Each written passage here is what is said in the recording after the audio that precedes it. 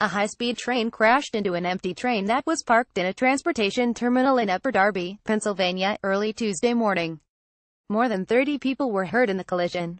Around 12:10 a.m., a Norristown high-speed line train coming into the transportation center struck an unoccupied train that was already sitting in the 69th Street terminal, NBC New York reported. The site is located about 30 minutes west of Philadelphia.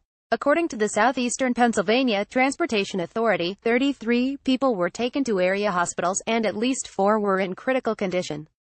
Upper Darby Mayor Thomas Micozzie told CBS Philly that the train's conductor was among the injured.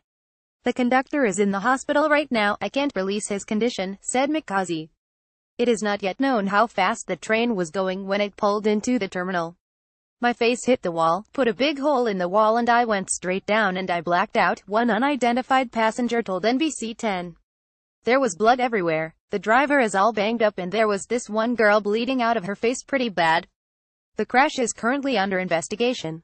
Last February, four people were injured when a train rear-ended another near the 69th Street terminal. Download Jade Walker Overnight Editor, HuffPost.